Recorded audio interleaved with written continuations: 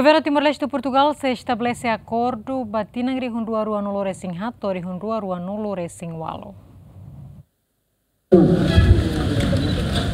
E a terça, né? Primeiro-Ministro Portugal, António Costa, Sorumalo, Ronia homólogo Primeiro-Ministro Cairala Sanano Guzmão, onde discute com a relação bilateral entre Timor-Leste e Portugal. Durante né, Timor-Leste e Portugal, hala uma cooperação no setor EUN, no ia visita chefe governo Portugal, mas Timor-Leste, né? A tu hamet em lutan cooperação entre a nação Granem.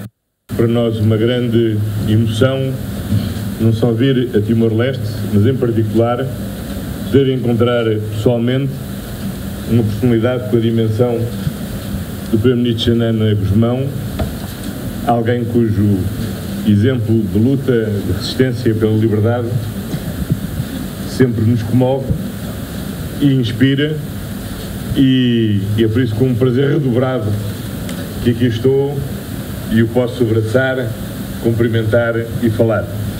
Esta visita ocorre num momento muito importante em que o novo governo de Timor-Leste está no início das suas funções e em que estamos a preparar precisamente o novo programa estratégico de cooperação entre 2024 e 2028.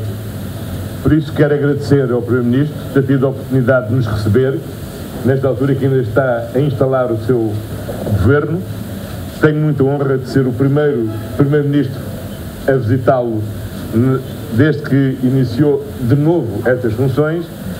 E, e esta visita destina-se sobretudo a identificar quais são as prioridades do novo governo de Timor para a cooperação, de forma a que o próximo programa de cooperação 2024-2028 corresponda àquilo que são as prioridades do governo de Timor já coincide precisamente com o mandato do governo de Timor.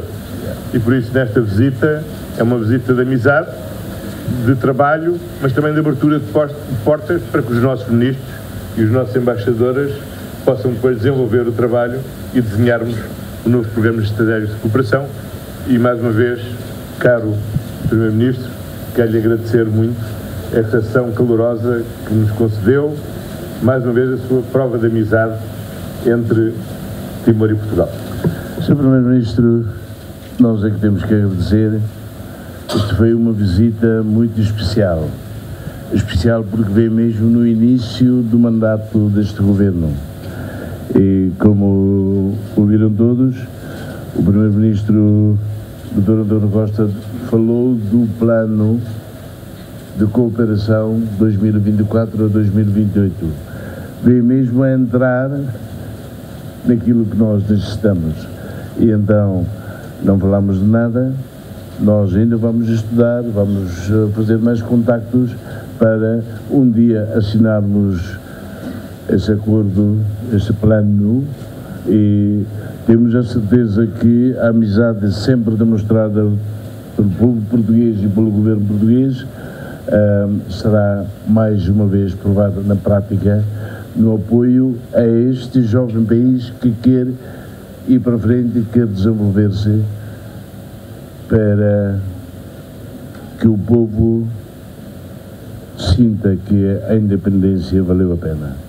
Ter a agenda na BGMN acessa durante a Timor-Leste, se o governo Portugal né, se visitamos Parlamento Nacional, Embaixada Portugal e a Timor-Leste, Cemitério Santa Cruz, Centro Juvenil Padre Antônio Vieira, Escola Portuguesa Dili, no inaugura instalação Centro Língua Portuguesa e a UNTLM.